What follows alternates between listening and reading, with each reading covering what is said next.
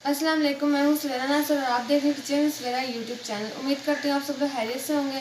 अल्लाह रबुल्ज़ा से दुआ है कि आप सबको अपने जमान में रखें आने वाले हर परेशानी मुश्किल और वबाओं से दूर रखें, आमीन।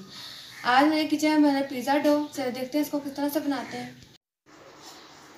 मैदा लिए दो कप, एक चाय का चम्मच चीनी लेंगे, एक चाय का चम्मच यीस्ट लेंगे, एक चाय का चम्मच नमक लेंगे, नीम गर्म पानी लेंगे और ऑयल लेंगे। मैदे के अंदर हम लोग सबसे पहले चीनी डाल देंगे यीस्ट डाल देंगे और नमक डाल देंगे। और इन सारी चीज़ों को अच्छी तरह से मिक्स कर लेंगे।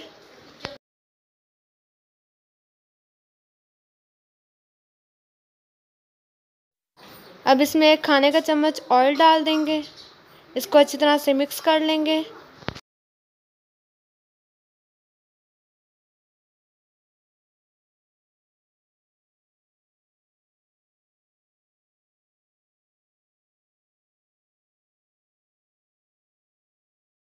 अब इसमें थोड़ा थोड़ा करके पानी डालेंगे और इसकी डो गूंद लेंगे। ना ज़्यादा सख्त डो गूंदेंगे ना ज़्यादा नरम, बस नॉर्मल गूंदेंगे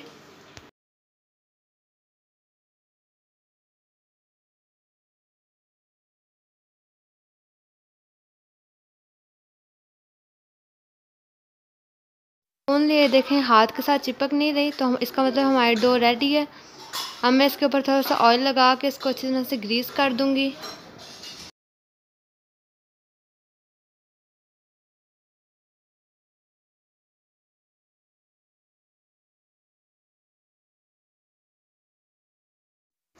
अब इसको एक घंटे के लिए राइस होने के लिए छोड़ दूँगी।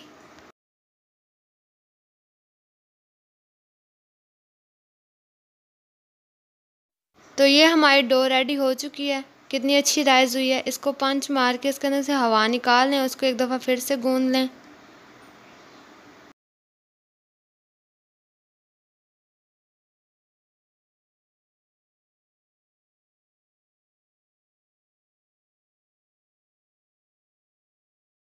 उम्मीद करती हूँ आपको मेरी आज की रेसिपी बहुत पसंद आई होगी। अगर आपको मेरी आज की रेसिपी पसंद आई तो मेरे चैनल को लाइक और सब्सक्राइब करना मत भूलिएगा।